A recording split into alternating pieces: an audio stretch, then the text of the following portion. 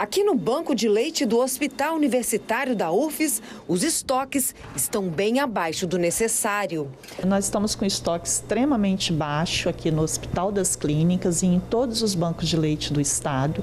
Hoje estamos trabalhando com um déficit de 90% do nosso estoque, tendo que priorizar os bebês internados. Nós teríamos a necessidade de termos uma média de, de arrecadação de 100 litros por mês, para que a gente consiga é, disponibilizar 15 litros dia. E hoje nós estamos arrecadando 5 litros dias e distribuindo uma média de 2 litros por dia. O bebê, quando nasce, precisa se alimentar exclusivamente do leite materno. Quando o nascimento acontece de forma prematura, é ainda mais importante. O leite materno ele foi considerado o alimento ouro para a nossa dieta humana. Ele é de grande importância, tanto no seu aspecto nutricional, como no seu aspecto imunológico. Então, ele é realmente um medicamento para os bebês patológicos e prematuros. A coordenadora lembra que a doação ajuda, inclusive, a estimular a produção do leite materno. Toda mulher que amamenta é uma potencial doadora, então ela só precisa estar amamentando o bebê dela, ser saudável e ter leite em excesso.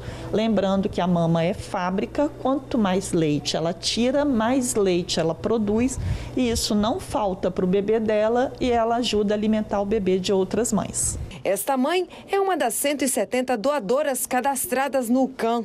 Para ela, a doação é uma troca importante e um ato de amor. É muito importante, acho que todas as mães que têm esse excesso de produção, que tiverem oportunidade, que venham, procurem um banco de leite, porque tem muito bebezinho que precisa do leite. É uma via de mão dupla, porque além de estimular para o meu filho, eu ainda tenho a oportunidade de ajudar um outro bebê. Aqui no Espírito Santo existem seis bancos de leite, três em Vitória, sendo a referência o CAN, um em Vila Velha, um em Cachoeiro e um em Colatina.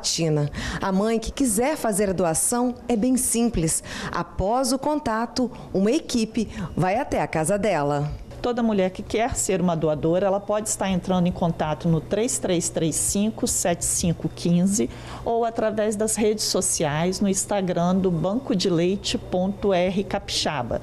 É só manifestar o interesse em ser doadora e nós fazemos o contato e vamos à residência, onde nós vamos deixar os frascos esterilizados, as etiquetas.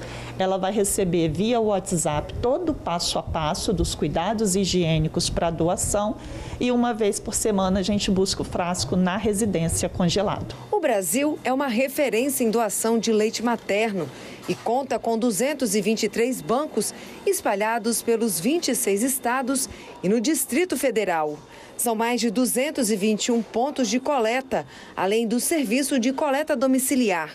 Para estimular a doação, foi criado o Dia Mundial da Doação de Leite Humano, comemorado no mês de maio uma forma de estimular a doação. O ato de doar leite é um ato solidário, é um ato de amor ao próximo. Vocês vão estar contribuindo para vários bebês prematuros.